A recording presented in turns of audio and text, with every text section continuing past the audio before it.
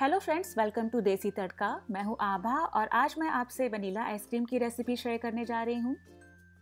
ये recipe eggless और no ice cream machine recipe है। अगर आपको मेरी ये रेसिपी अच्छी लगे तो वीडियो के नीचे लाइक का बटन क्लिक करें और मेरे चैनल को सब्सक्राइब करना ना भूलें और मेरी रेसिपीज़ को ज़्यादा से ज़्यादा शेयर करें। तो आइए चलिए शुरुआत करते हैं।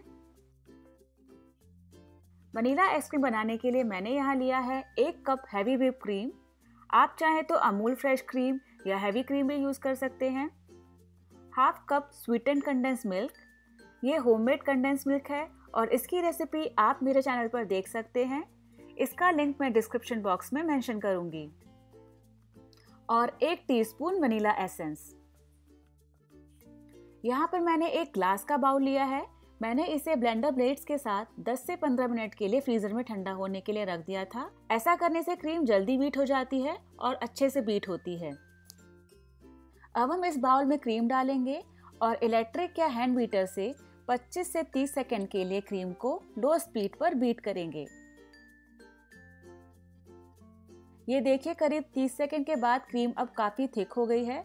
हमें इसे स्टिफ पीक तक बीट करना है। इसे हम और करीब 30 सेकेंड के लिए बीट कर लेंगे।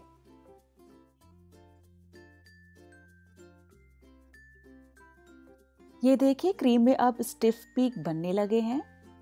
हमें क्रीम को बहुत ज़्यादा बीट नहीं करना है, वरना क्रीम से बटर रिलीज़ होने लगेगा।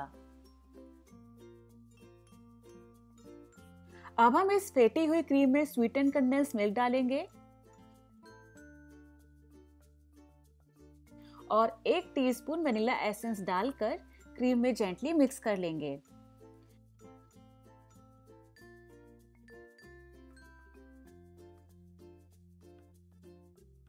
मिक्सर को 10 से 15 सेकंड तक लो स्पीड पर बीट कर लेंगे ताकि सारी चीज़ें अच्छी तरह से मिक्स हो जाएँ।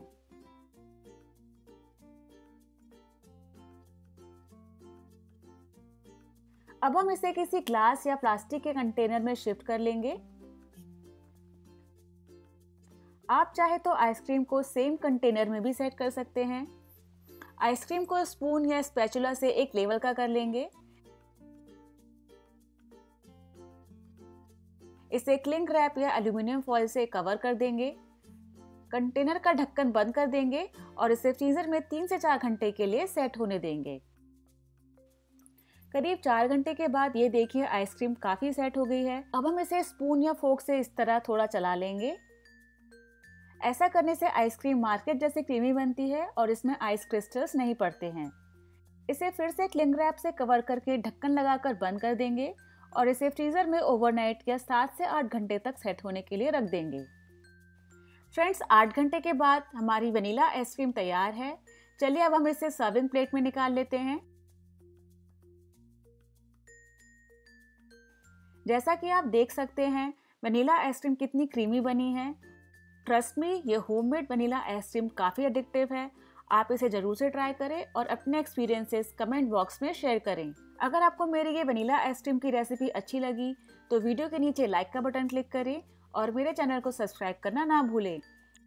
अगर आप मेरी रेसिपीज़ ट्राई करते हैं तो फेसबुक या इंस्टाग्राम पर हैश टैग देसी तड़का के साथ शेयर करें। Thank you for watching bye bye